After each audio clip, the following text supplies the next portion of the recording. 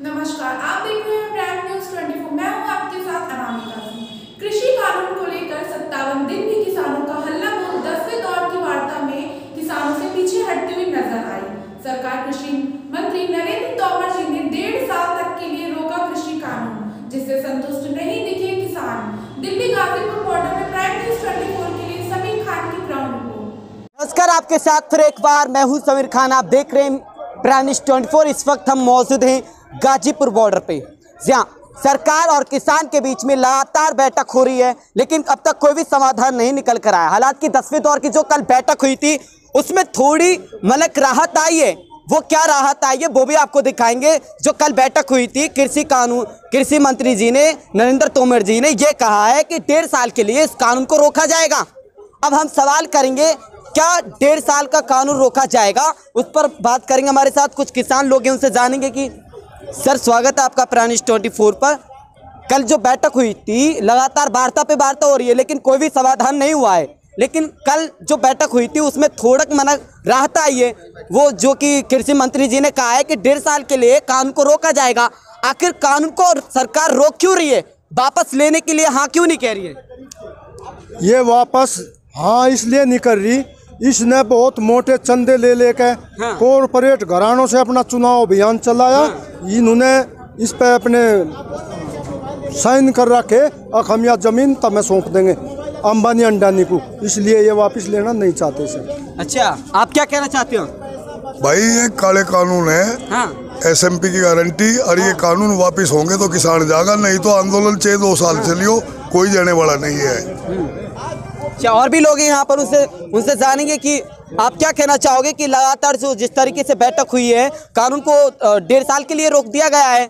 नहीं जी हम उस बात से संतुष्ट नहीं है। हम तो पूरे ही उन्हें निरस्त करने के पक्ष में है जी। पूरे पूरे उस कानून काले कानून को बिल्कुल निरस्त करने के उसमें अच्छा आप संतुष्ट नहीं हो इस बात से? नहीं इस बात से हम संतुष्ट नहीं है। लेकिन वापस लेने की मांग क्यों नहीं कर रही है? मतलब कि वापस लेने का अ, जो सरकार है वो मान क्यों नहीं रही है? किस कानून को वापस लिया जाए जब किसान कह रही है तो? वो अडानी अंबानी ने जो उन्हें पैसे दे रखा है उनके हस्ताक्षर करा रखे इसलिए वापस नहीं ले रही। अच्छा। दबाव में हम्म हाँ। वो अंबानी अंडानी के दबाव में है। उन्होंने ये बात तय कर रखी। अब हम इस देश को थारे हाथ में सौंप देंगे। और ऐसा किसान होने नहीं देंगे। रेल बिक गई बंदरगाह बिक गए एल आई सी बिक गई और भी बेचने की नज़र है उसकी। ले और इस वक्त की बड़ी खबर आपको बता दें जो आज तीन राज्यों की सरकारों के बीच जो, किसानों के बीच जो बैठक हुई है, आज पुलिस और किसान के बीच में जो बैठक हुई थी जो 26 जनवरी की जो परेड है उसको लेकर। लेकिन आज सवाल ये है कि जो पुलिस के और जो सरकार के बीच में जो बैठक हुई है, पुलिस ने मना कर दिया है। 26 जनवरी को जो किसान परेड निकालने वाले थे, उसको लेकर जो पुलिस है, उसने मना कर दिया। यहाँ पर कुछ किसान है मेरे साथ, उनसे जानिए कि क्या नाम है सर आपका? मेरा नाम इम्तियाज़ बेग है हाँ क्या कहना चाहते हो कि लगातार जो अभी सरकार जो है वो मान रही डेढ़ साल के लिए कानून को आगे कर दिया है? सरकार झूठ बोल रही है सरकार कोई कानून स्थगित नहीं कर रही है सरकार किसानों के आंदोलन को पीछे हटा करके सोचती है कि हम मनमाना करेंगे। ऐसा कोई नहीं सरकार की बातों पर विश्वास है। सरकार तो शुरू से कह रही है कि हम किसानों में हित की काम कर रहे हैं। कौन सा हित किसानों का हो रहा है? किसान रोड पर है सौ से ऊपर लोग मर गए। प्रधानमंत्री एक शब्द उसका जिम्मेदार किसको मानते हो? जो सत्तर से ज़्यादा शहीद जो किसान शहीद हो चुके हैं। मैं उसको भारत सरकार को मानता हूँ। भारत सरकार इसके लिए जिम्मेदार है बाकी कोई नहीं है। हमारी रोटी छीनोगे हमारी ज़मीन छीनोगे हमको पूंजीपतियों और साम्राज्यवादियों के हाथ का गुलाम बनाओगे तो हम तो हर शहादत देने के लिए तैयार है। एक नहीं सौ नहीं करोड़ों किसान अपने शहीद बनेगा शहीद होगा और भगत सिंह अशफाकुल्ला के रास्ते पर चलेगा। चाहे जो भी कुर्बानी देनी होगी हम लोग तैयार है कुर्बानी देने के लिए। और यहीं मरेंगे यहीं करेंगे। जब तक कि हमारी मांग नहीं मानी जाएगी तीनों कानून काले कानून वापस नहीं होते हैं। जब तक एमएसटी की गारंटी नहीं होती तब तक हम जाने वाले अपने घरों को लौट जो कल बैठक में जो कृषि मंत्री ने ये कहा है डेढ़ साल के लिए कानून को रोका जाता है उसमें क्या आप सहमति हो उस बात काहे को डेढ़ साल रोक रहे हो? खत्म करो दो दिन में संसद हो रही है संसद में बुला के खत्म कर दो। अब फिर उसके बाद किसानों के बीच से अपने विशेषज्ञ से बनाओ। कानून को खत्म करो। वार्ता पे वार्ता हो रही है। क्या किसानों को गुमराह करने की कोशिश कर रही है सरकार? सरकार इसको लिंगरहान करना चाहती है कि किसान थक जाएँगे उसके बाद लौट के अपने घरों चले जाएँगे। हम कानून ला हम इसको मानने के नाम थकने वाले हैं। हम तो खेती में रोज काम करते हैं फावड़ा चलाते हैं हल चलाते हैं काटते हैं खिलाते हैं अपने भूखे भी रहते हैं। तब भी हम देश को अन्न उपजाते हैं। जय जवान जय किसान का नारा लगाए। जब हमारा देश अमेरिका के गुलाम रोटी माँगता था तब हमारे किसानों ने हम लोगों ने हमारे बाप दादों ने जय जवान, जय किसान का नारा दिया। देश को सीमा सुरक्षित किया किसान के बेटों ने और आत्मनिर्भर इतना गेहूँ, चावल, धान गन्ने से बना दिया कि अब सरकार के पास झूठ बोलती है कि रखने की जगह नहीं है। हम निर्यात कर रहे हैं दुनिया में। धान, गेहूँ चावल, गेहूँ, चना, मटर सब निर्यात कर रहे हैं। फिर पूंजीपतियों के भंडारण में ये नाटक करती है ब्लैक कराने के लिए कि हम विदेश से प्याज मंगा रहे हैं, विदेश से चीनी मंगा रहे हैं। हमारी गन्ना इतनी पैदा होती है लगातार सर बैठक पे जो बैठक हो रही थी बेनतीजा हुआ है। क्या कल की जो बैठक है क्या उम्मीद है कि कल बात बन पाएगी? कल जो आंदोलन है वो खत्म हो पाएगा। बात तो बनने की कोई उम्मीद नहीं है। ये समय बर्बाद कर रहे हैं और किसानों को परेशान करने पे तुले हुए हैं।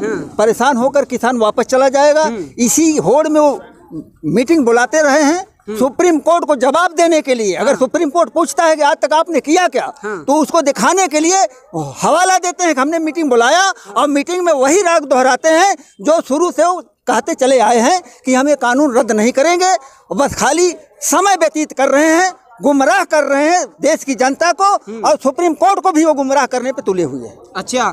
जो 26 तारीख की जो किसान परेड निकालने की कोशिश कर रहे हैं, कहने की जो परेड निकालने की बात कर रहे हैं, लेकिन आज जो बैठक हुई है, पुलिस और सर, उसमें, किसानों के बीच में, पुलिस ने मना कर दिया है। सरकार ने हालात की जो सुप्रीम कोर्ट है, उसने कहा है कि ये व्यवस्था जो है, पुलिस, पुलिसों के अंडर में आती है, जो राज्य सरकार होती है, लेकिन पुलिस ने मना कर दिया। फिर क्या परेड किस तरीके से जारी करोगे, निकालोगे या निकलेगी या नहीं? परेड के लिए अभी मीटिंग होगी।